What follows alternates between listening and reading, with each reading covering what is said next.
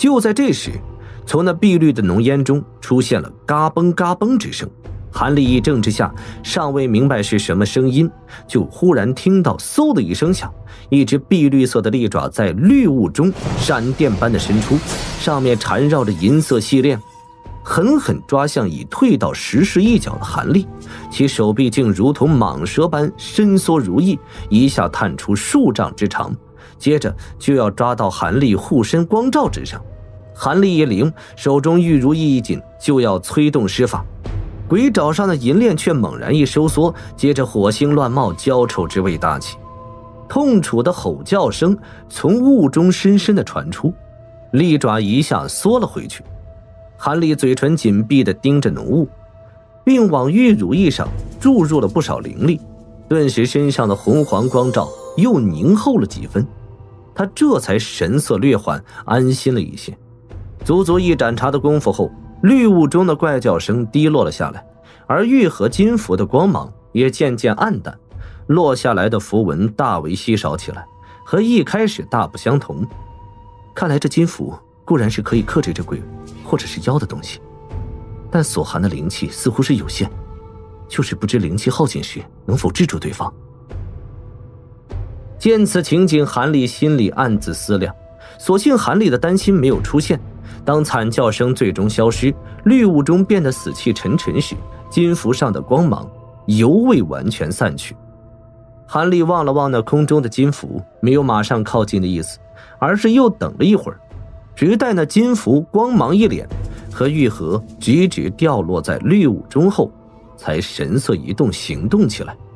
只见他单手一挥，将那灵兽带顿时收起，空中的手。则是一掐法诀，低沉的咒语声响起，身前瞬间浮现出一个鸡蛋般大小的红色光团。看了看光团，韩立没有迟疑，轻轻一点，光团嗖的一声化为了一道红芒，飞入了绿雾中，不见了踪影。随后，韩立双眉一挑，口中轻吐一个“爆”字，砰的一声巨响从那绿雾中传出，雾气如同被狂风扫过，一下震散的无影无踪。同时，一股炙热的气息弥漫了整个小屋。对付这些邪气毒物，果然还是火属性的功法最为有效。热风扑面，韩立站在原地动也不动，只是眼中异光闪动，紧盯着雾气散去的石台。结果一看之下，他心中突兀一跳，干咽了一下口水，有些发寒起来。只见石台之上有一具人形的东西伏在那儿一动不动，不知生死。之所以说是人形，是因为此东西虽然长得似人，但是浑身上下密密麻麻的粗硬绿毛，并且一股股的尸臭之气从身上传出。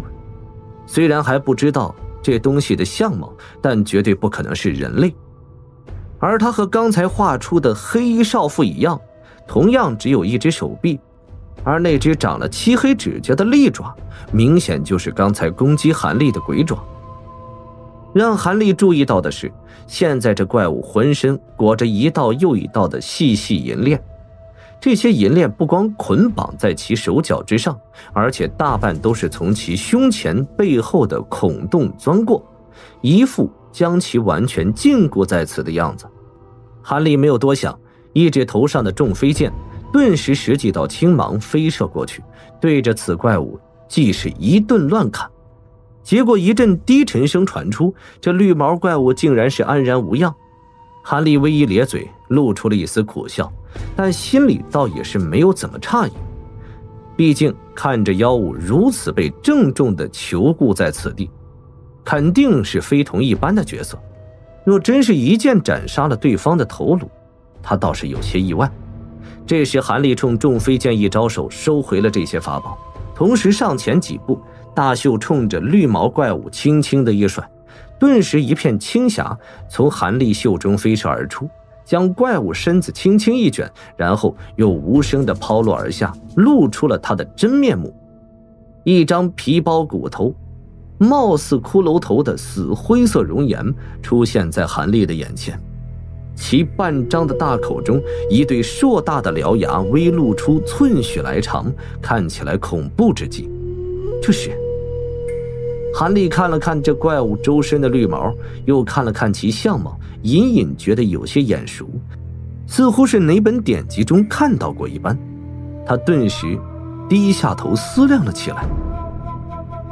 失霄。片刻后，韩立猛然一抬头，眼露一丝惧意，叫出了怪物的名字，同时脑中急速的回想有关此凶灵在蛮荒时期就鼎鼎大名的可怕传闻。想到尸枭全身金铁难伤，只能用真火慢慢炼化，或者用抽魂术加以封印的传闻，韩立不禁有些头痛起来。眼下的尸枭显然并未真正死去。只是暂时被不知名的金符禁制住了身体而已。估计这尸枭再次恢复元气，绝不会是短时间的事情。想到这儿，韩立目光一转之下，望向了跌落尸枭身边的玉盒，眼中一丝疑色闪过。他不再想这些没用的问题，开始四下扫了一遍，准备寻觅脱身之法。能炼化掉尸枭的真火，起码也要元婴期以上的修为才行。而且没有数月时间持久炼化，也是无法如意。而韩立就是有这种修为，也不会吃饱的撑着做这种斩妖除魔的事情。他要做的就是远远离开此地，让这石枭继续孤零零的囚禁于此。至于以后是不是还有其他人倒霉一头钻进这里，被其继续欺骗，这就不是他考虑的事情。反正到时候石枭脱困现身，自有诸多大派高人前去应付。但韩立目中转了一圈，重新回到了玉盒之上。他瞅了那金符几眼，犹豫了一下，忽然伸手一招，将那玉盒吸到手上，然后面不改色收进了储物袋中。金符上画的符文实在是奇特之极，他打算回去好好研究一番。至于会不会打开此盒，那自然是要在他元婴大成、自觉万无一失的时候才会动手。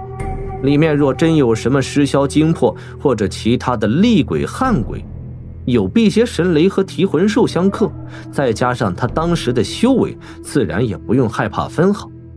韩立一招手中的玉如意，身上的光照蓦然消失，黄色小狼跳了出来。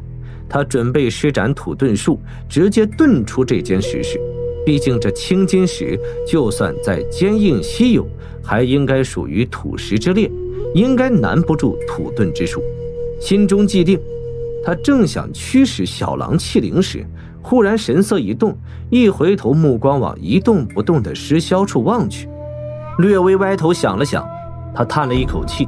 几步走到石霄身前，然后抬足就是一脚，结果石霄身下一个翻转，露出一个不起眼的凹坑出来，而那凹坑中，那只雪云狐正睁着乌黑的眼珠，可怜巴巴地望着韩立。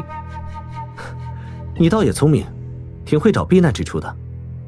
说完之后，韩立大手一挥，一片青光向着小狐卷去，白狐似乎知道不妙，急忙纵身一跳。就想逃之夭夭，但是韩立轻光奇快无比，他只来得及跳到半空中，就被青霞一下卷住，迅速收进了韩立手中。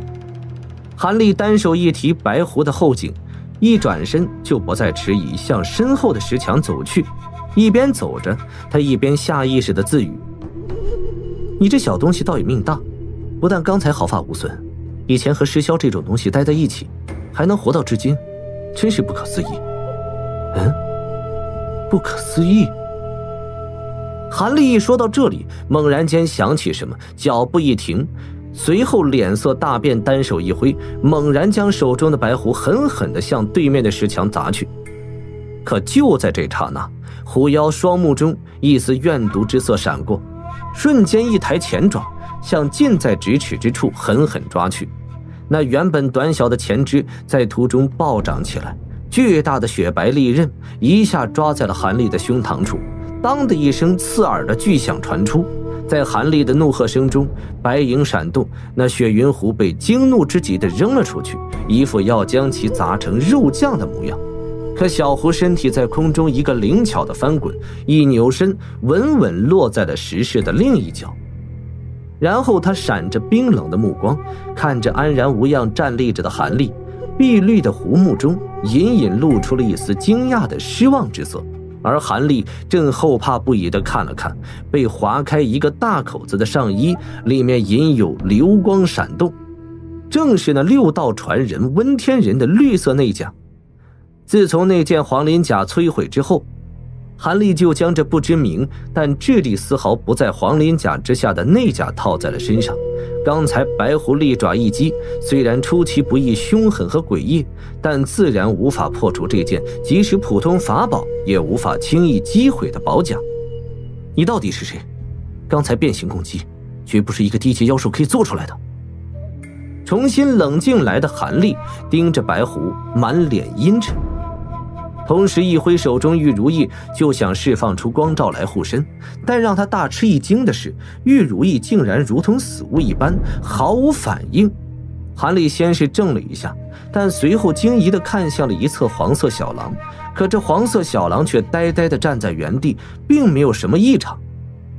大敌当前，韩立一时也顾不上想其中的缘故，神念一动之下，头上的飞剑嗡鸣声大起，迅速化为一片青色剑幕，遮挡在了身前。韩立这才神色略松了一下，但此刻对面的雪狐口中却传出了一声让韩立愕然的人语：“我是谁？你刚才不是才和我打过招呼吗？怎么这么快就认不出我了？”随着熟悉的女子声音，白虎眼中流露出一丝讥讽之色，猛然间后肢站立直了身子。接着，一幕妖兽化形的情形在韩立眼前活生生的演绎了一回。眼看着眼前的白狐，几息之间就身形暴涨了数倍，并瞬间褪去了浑身的白毛，化为了一个浑身赤裸、拖着一条狐尾的妩媚少妇。韩立微微怔了怔，抿了抿唇。就再也无法保持镇定之色，满是愕然和震惊。怎么，我这妖狐化身的皮相还不错吧？和黑衣少妇一模一样容颜的此女，一挺丰满雪白的胸膛，在两点嫣红微微颤抖之下，瞅着韩立狐媚之极，但是明眸的深处却相反的冰冷异常，一丝笑意都没有。你是他？韩立深吸了一口气，总算是恢复了冷冷的状态。随后，他还下意识地瞅了瞅石台，石霄的身体毫无动静，这让他心里略微一松。然后重新盯着眼前修为暴涨的此女。按理说，能幻化人形，最起码也是八级妖兽。可这自称尸霄化身的白狐，在他神识一扫之下，却只有七级修为，这让韩立满腹诧异。但倒也没有多少畏惧之色。不过，他先前竟被这妖狐瞒过了神识，也不敢再确定自己是否判断的准确，因此脸上还露出了凝重的表情。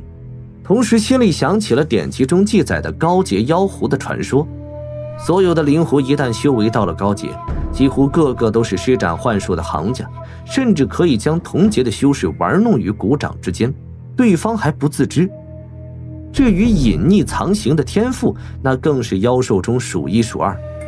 先前他还有些怀疑此言，但现在看到自己如此强大的神识竟被此妖轻易骗过，如今终于有了几分相信。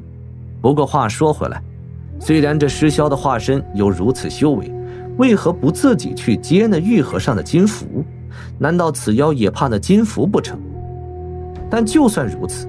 凭他的修为，完全可以劫持一名低阶修士回来，然后威逼着去撕那金符。韩立脸上毫无表情，心中疑惑却纷纷上涌。他隐隐觉得，对面的狐妖绝对不是石霄化身这么简单的事情，里面肯定有什么难言之隐。